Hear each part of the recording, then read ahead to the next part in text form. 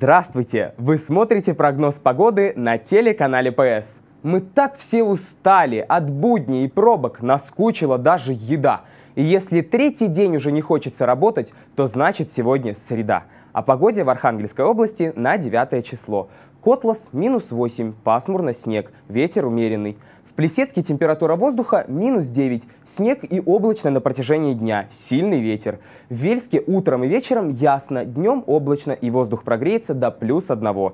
Ветер умеренный и без осадков. Ну и, конечно, Архангельск. Утро будет таким, каким оно и должно быть. В окно будет заглядывать солнышко, температура воздуха минус 5, ветер слабый. Днем температура поднимется до минус 1. На небе пасмурно, возможен снег. И безоблачный вечер среды подарит нам минус 9 на термометре и слабый ветер. Замыкая круг, ты назад посмотришь, друг, Там увидишь в окнах свет, мерцающий нам след.